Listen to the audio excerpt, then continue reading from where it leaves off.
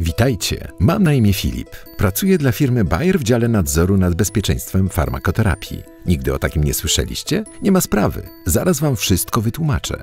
Analizujemy profile korzyści i ryzyka naszych produktów przez cały cykl ich życia i jesteśmy odpowiedzialni za bezpieczeństwo ich stosowania. Po co to robimy? Choroba zazwyczaj powoduje upośledzenie normalnego funkcjonowania naszego ciała. Aby osiągnąć pożądany efekt terapeutyczny, substancje czynne zawarte w lekach muszą oddziaływać na odpowiednie miejsca docelowe w naszym organizmie w celu przywrócenia jego normalnego funkcjonowania. Ponieważ jednak ludzki organizm jest bardzo skomplikowanym układem, leki mogą również oddziaływać na inne procesy fizjologiczne. To dlatego każdy lek może powodować działania niepożądane. Ponadto działania niepożądane mogą być powodowane przez czynniki genetyczne lub wywoływane przez interakcje z innymi lekami lub żywnością. Z tego powodu dział nadzoru nad bezpieczeństwem farmakoterapii jest włączony już na wczesnym etapie prac nad nowymi lekami. Naszym zadaniem jest zapewnienie, aby oczekiwane korzyści dla pacjentów przewyższały potencjalne zagrożenia. Innymi słowy, aby lek miał korzystny profil bezpieczeństwa.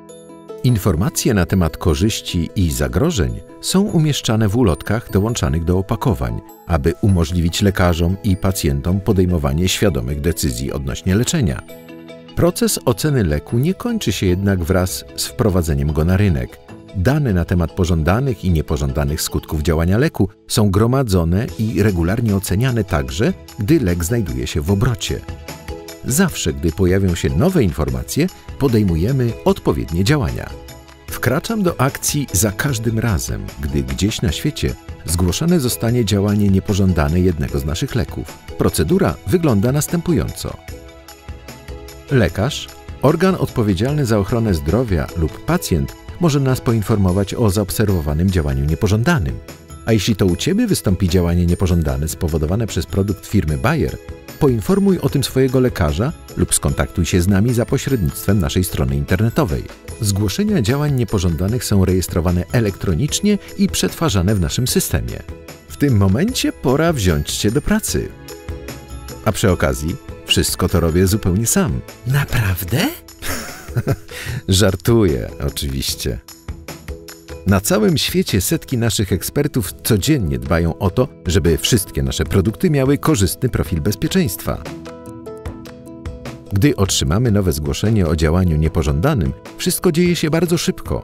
Podejmujemy szereg sprawdzonych i skutecznych działań.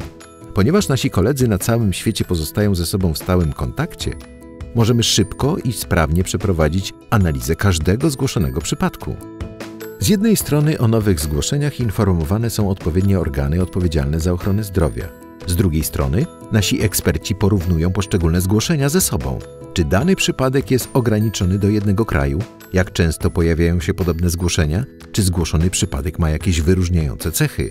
Globalny system wczesnego ostrzegania alarmuje nas, gdy następuje nagromadzenie podobnych zgłoszeń, pozwalając na podjęcie ukierunkowanych działań. Ponadto Przeglądamy literaturę naukową w poszukiwaniu najnowszych doniesień na temat potencjalnych zagrożeń w różnych obszarach terapeutycznych lub klasach produktów. Sprawdzamy, czy nowe informacje potwierdzają znany i udokumentowany profil bezpieczeństwa produktu. Jeżeli nie, wówczas musimy przedyskutować z władzami odpowiedzialnymi za ochronę zdrowia, jakie środki należy podjąć, żeby zminimalizować ryzyko dla pacjentów. W niektórych sytuacjach konieczne może być wprowadzenie zmian w ulotce dołączanej do opakowania lub dodanie specjalnych ostrzeżeń. Czasami trzeba ograniczyć grupę pacjentów, dla których przeznaczony jest dany lek. W rzadkich przypadkach konieczne może się okazać wycofanie leku z rynku.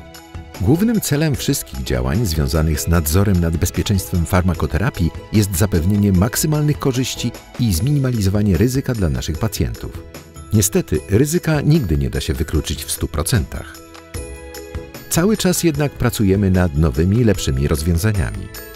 Identyfikujemy nowe zagrożenia związane z bezpieczeństwem oraz starannie analizujemy te, które już wykryliśmy. Ach, prawda, zapomniałbym. W firmie Bayer przestrzegamy nie tylko krajowych i międzynarodowych norm. Pracujemy także według naszych wewnętrznych regulacji obowiązujących we wszystkich oddziałach naszej firmy na całym świecie. Właśnie tym zajmujemy się w dziale nadzoru nad bezpieczeństwem farmakoterapii firmy Bayer. Bezpieczeństwo pacjentów jest dla nas zawsze najwyższym priorytetem. Czemu to robimy? Cóż, odpowiedzią niech będzie motto naszej firmy –